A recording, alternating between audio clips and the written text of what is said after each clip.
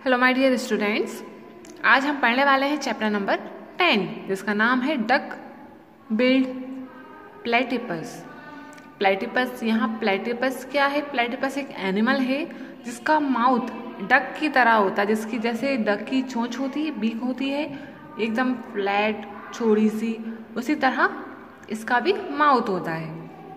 इसलिए इसका नाम रखा गया है डक बाइल्ड प्लेटिपस तो चलिए हम इस चैप्टर को शुरू करते हैं। Welcome to the world of duck billed platypus अब यहाँ हमारा वेलकम कर रहे हैं कि डक बिल्ड प्लेटिबस की दुनिया में आपका स्वागत है। The duck billed platypus of Australia walk out of fresh water to build its nests on the ground अब इस लाइन में हमें समझा रहे हैं कि जो डक बिल्ड प्लेटिपस है, वो कहाँ रहता है? ऑस्ट्रेलिया में रहता है, जो कि फ्रेश वाटर से बाहर आता है अपना घोंसला बनाने के लिए। जो प्लेटिपस है, वो एक कौन सी कैटेगरी में आता है? वो एनिमल्स की कैटेगरी में आता है। ये आता है हमारा एम्फीबियन की कैटेगरी में। एम्फीबियन एनिमल्स कौन से होते हैं?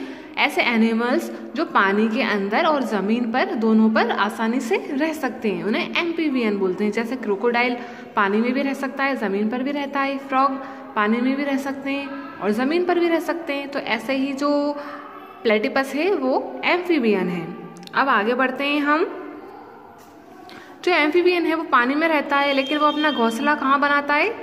अब ज़मीन पर but it retains its love of water and return to stream and ponds to eat crayfish snails and shrimps लेकिन जब उसको भूख लगती है तो वो कहाँ जाता है? पानी में चला जाता है। क्या खाने? फ़िश खाने स्नेल खाने श्रिम्स खाने। The platypus has a paddle shaped tail like that of a weaver. जो प्लेटिपस है, उसकी पैडल जैसी पूंछ होती है, जो उसे पानी में तैरने में हेल्प करती है। It has the body of an otter and a flat bill and webbed feet like that of duck और उसकी जो बॉडी होती है, वो कैसी होती है? फ्लैट बॉडी होती है। और जो उसकी फ़ीड फ़ीड मीन्स जो उसका मुँह होता है, जहाँ से वो खाना खाता है, वो कैसी होती है? डक की तरह। ये आप देख रहे हैं चोंच की तरह, जैसे डक का फेस होता है, ऐसे इसकी माउथ होता है। When it was first discovered and send to England जब इसे पहली बार देखा गया और इंग्लैंड भेजा गया people thought that it was a stuffed animal people क्या बोलते थे? वो बोलते थे कि एक स्टफ्ड एनिमल है। Stuffed animal means the most remarkable feature in the platypus is that although it is a mammal it lays eggs और जो सबसे, जो देखने वाला इसमें जो फीचर है, खासियत है वो क्या है?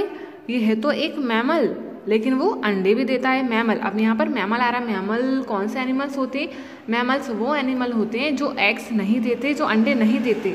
वो अपने बेबीज को डायरेक्टली बर्थ करते हैं मीन्स जन्म देते हैं बिना अंडे के।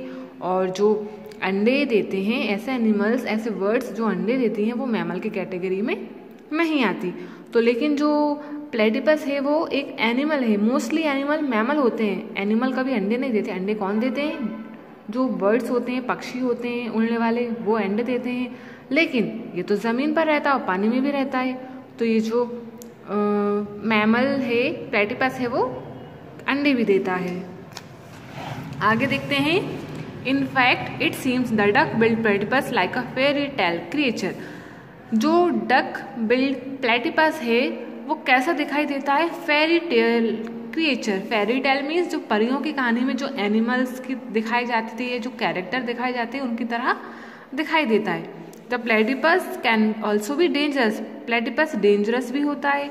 The male use is poison for self defence इनके अंदर जहर होता है, जो खुद की रक्षा के लिए काम करता है, जो खुद की रक्षा के लिए उसे यूज़ करते हैं। It has spurs on its hind feet which contain poison इसके जो पैर होते हैं, नीचे के जो तलवे होते हैं, उसमें एक स्पर्स स्पर्स मीन्स एक नुकीले कुछ कुछ पार्ट होता है, नुकीले जिसे हम रोम बोल सकते हैं, नुकीले नाखून की तरह, नुकीले जो अपन ने सुई देखा होगा, पिंच की तरह, इस टाइप के पैरों के नीचे होते हैं, जिसमें पॉइजन होता है। अगर वो हम पर पड़ जाए तो पॉइजन हमारे बॉडी के अंदर फैल जाता है। Its fur allow its to swim in the water as cold as zero degree Celsius उसके जो फर हैं फर मीन्स उसके बॉडी के ऊपर जो रोम हैं, जो बाल हैं, वो उसको हेल्प करते हैं पानी में तैरने में। प्लेटिपस की एक खासियत है, पानी कितना भी ठंडा क्यों ना हो, कितना भी ठंडा, वो उसमें आसानी से तैर सकता है, उसे कोई भी प्रॉब्लम नहीं होती। It digs a burrow in the ground to build it nest और वो अपना घोंसला बनाने के लिए ज़मीन के अंदर बिल खोदता है। It has a strong shoulder muscles to help it take this burrows और जो उसके कंधे हैं शोल्जर्स हैं, जो मसल्स हैं, बहुत स्ट्रांग होती हैं, वो हेल्प करती हैं उसकी बुरूस मीन्स जो बिल होते हैं उसको खोदने में। But actually the platypus and it cousin the anteater along with other marsupials kangaroo make up the most primitive group of living mammals on earth. अब ये क्या बता रहे हैं? जो प्लेटिपस है वो मैमल की कैटेगरी में तो आता है, लेकिन कौन सी कैटेगरी में और आता है? आपने कंगारू देखा होगा। कंगारू के फ्रंट जो पार्ट होता है बॉडी का, उसमें एक पाउच की तरह, एक पॉकेट की तरह होता है, जिसमें वो अपने बच्चे को बिठालता है। कंगारू की एक खासियत है, जब उसके बच्चे होते हैं तो पूरे प्रॉपर से वो जन्म नहीं लेते। मतलब जिस तरह एनिमल्स में या ह्यूमन बीइंग में बच्चे जन्म लेता है तो पूरा बच्चे के रूप में दिखाई देता है। लेकिन जो कंगारू होता है उसका बच्चा पूरा बन ही नहीं पाता, उससे पहले वो अपने बच्चे को जन्म देते, दे देता है।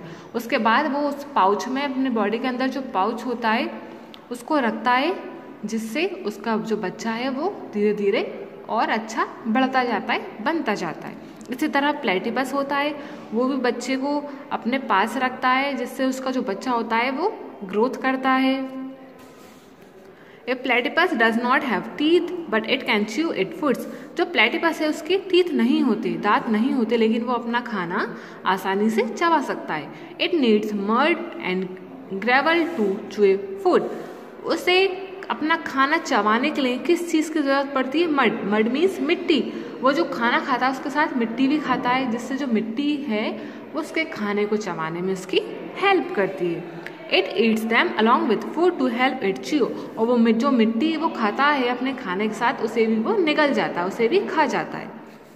So that is a platypus तो इस तरह ये प्लेटिपस है one of nature's most unusual creature हमारी प्रकृति का एक अनोखा क्रिएचर तो हमने प्लेटिपस के बारे में पढ़ लिया है।